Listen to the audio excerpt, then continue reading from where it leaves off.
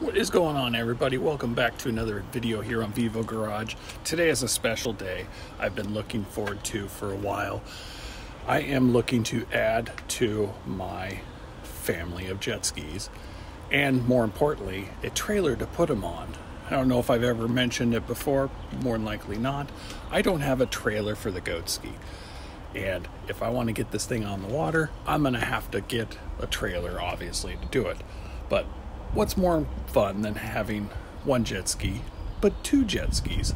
So I have been searching through and throughout to try and find a double trailer with a jet ski attached to it in an affordable price range because I really don't want to spend a lot of money on this stuff. I could dump thousands and thousands of dollars into it, but I'd rather not. So I am heading out right now to go look at a it's a 96 Sea-Doo XP with an 800cc two-stroke engine with a double trailer with a, that has an open slot for the goat ski.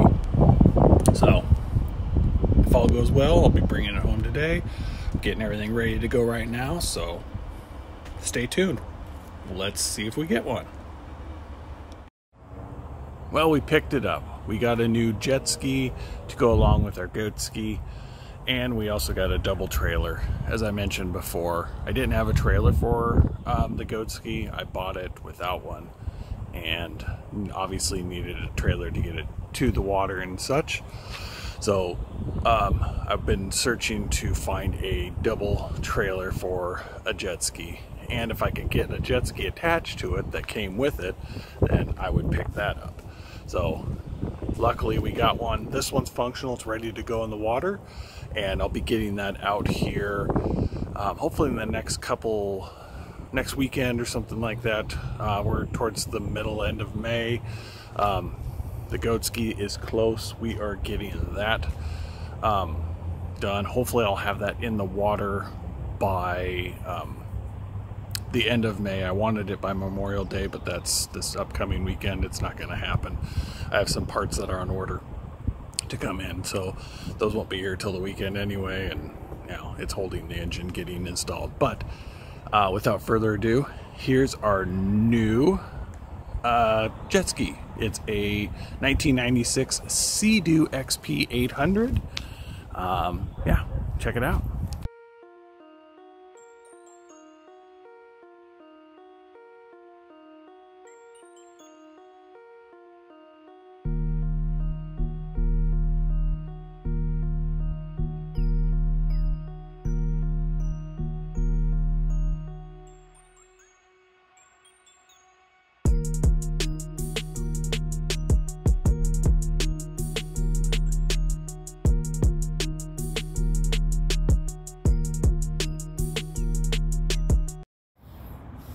So as you can see, it is in phenomenal shape.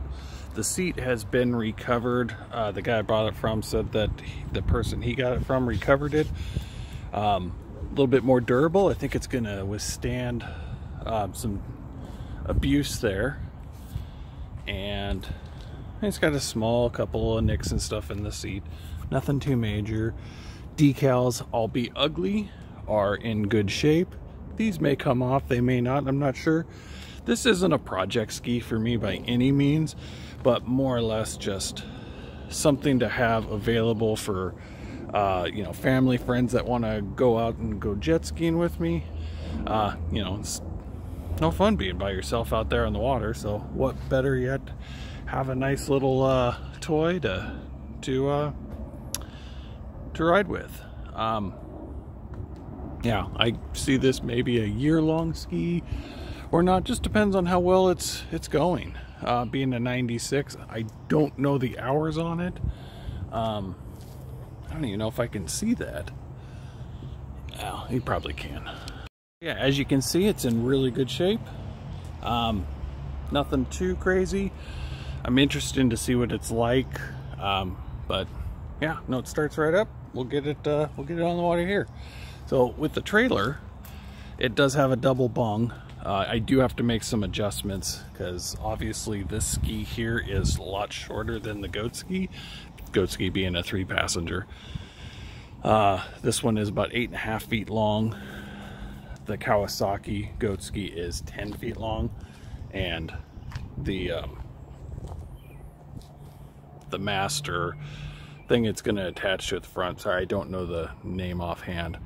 Uh, it's going to have to get attached to it. So my thought was is it would get aligned in with the bunks and then we would attach it somewhere along in here, have it go up and uh, connect on that. So overall the trailer's in great shape.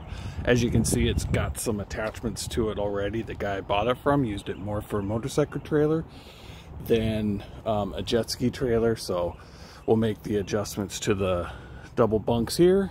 And then we're gonna remove this uh, channel here for the motorcycle. We'll put it aside because who knows, we may use it down the road. And then we'll take this one off here because we don't obviously need this one here.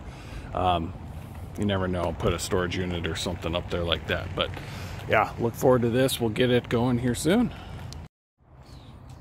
So you can see in here, the engine overall looks pretty good.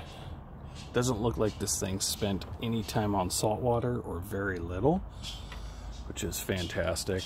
I'm not gonna say mine won't get in salt water, but we'll make sure it gets cleaned up. Um, the HydroTurf is all new within the last couple years. The original stuff is just riveted on and um, was causing it to leak actually. So um, underneath all the padding where the rivet holes were, previous owner patched them all up and put this stuff down. Looks really good, like it. So there we have it, another quick video here on the channel introducing this new project and it is like I mentioned water ready so the weather's going to be nice the next couple days. I'm going to get out on it. I will shoot video of it on how it does and then you know let you guys know how it was on that. And um, if you didn't see the other video with the status of the goat ski link it above and you can check that out see where it's sitting at it but yeah. We'll uh, we'll get out and enjoy this this yellow sea-doo. So until next time, bye.